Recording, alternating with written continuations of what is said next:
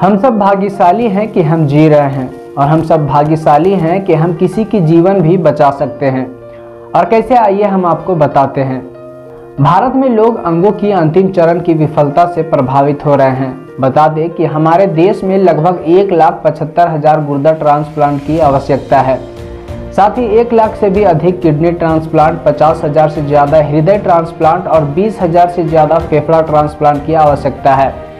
इसके साथ ही एक लाख से भी ज़्यादा कॉर्निया ट्रांसप्लांट की ज़रूरत है और प्रत्यारोपण हमारे देश की सबसे महानतम चिकित्सकीय प्रगति है। अब सवाल खड़ा होता है कि हम ये अंग कैसे प्राप्त कर सकते हैं और कहाँ से प्राप्त कर सकते हैं? तो इसका जवाब है कि हम ये अंग जीवित और मरे हुए दोनों से प्राप्त कर सकते हैं। हम जीवित लोगों से लीवर, गुर्दा, टिश्यू प्राप्त कर सकते हैं और मृत बॉडी का गुर्दा, किडनी, फेफड़ा, हृदय अग्नाशय आंत, कॉर्निया और अन्य टिश्यू ले सकते हैं।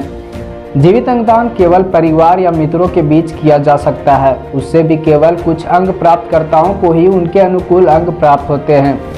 लेकिन मृत अंगदान की संख्या में कमी के कारण लोगों को अपनी अंतिम सांस तक इंतज़ार करना पड़ता है। इसलिए अगर हम अंगदान करने की सोचते हैं और अंगदान करने की कसम लेते हैं तो अंग के इंतज़ार में अंतिम सांस ले रहे लोगों को हम सब उन्हें एक आशा की नई किरण दे सकते हैं। अब एक और सवाल आपके मन में आता होगा कि अंग प्रत्यारोपण कैसे किया जाता है? जब कोई व्यक्ति दुर्घटनाग्रस्त होकर या आघात या सदमे के कारण अस्पताल में लाया जाता है तो चिकित्सक उसके जीवन को बचाने के लिए सर्वश्रेष्ठ प्रयास करते हैं। फिर भी कई बार मस्तिष्क अस्थायी और अपरिवर्तनीय रूप से काम करना बंद कर देता है और उस व्यक्ति की मस्तिष्क मृत्यु हो जाती है। लेकिन उसका दिल अभी भी धड़क रहा होता है, क्योंकि वह व्यक्ति वेंटिलेटर पर रखा गया है।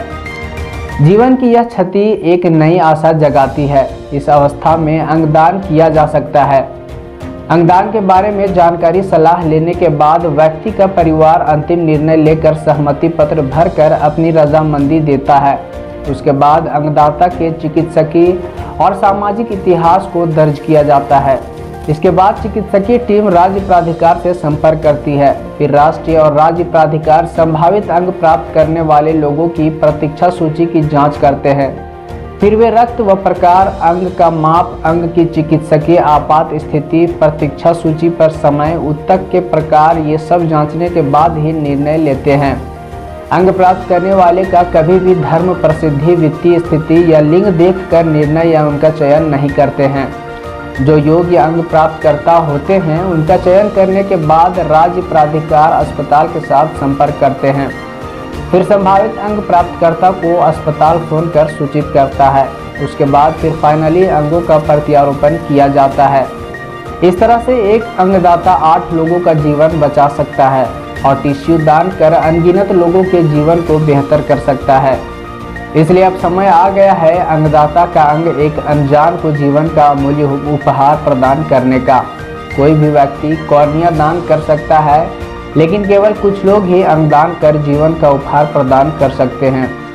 इसलिए अंगदान के लिए प्रतिज्ञा करें और अंगदान कर जीवन की अंतिम सांस ले रहे लोगों को एक नई ज़िंदगी प्रदान करें। अंगदान करने के लिए आप अंगदाता पत्र पर हस्ताक्षर कर मोहन फाउंडेशन के साथ भी जुड़ सकते हैं। मोहन फाउंडेशन एक गैर सरकारी संगठन है, जिसकी प्रतिबद्धता जनता के बीच जागरूकता उत्पन्न करना, प्रशिक्षण और प्रत्यारोपण समन्वय करना, क्षमता निर्माण करना और अस्पताल के साथ नेटवर्किंग संपर्क स्थापित करना है। मोहन फाउंडेशन के बारे में और अधिक जानने के लिए दिए गए वेबसाइट पर विज़िट करें या पूछताछ के लिए दिए गए ईमेल पर संपर्क कर सकते हैं और इस वीडियो को अपने परिवार और अपने दोस्तों के साथ शेयर करें। धन्यवाद।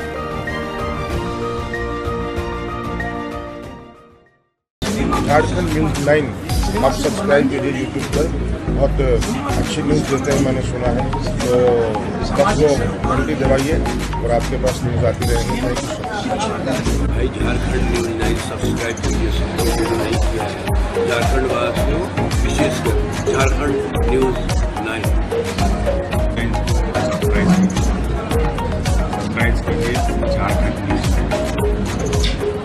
observance of our eminent guest.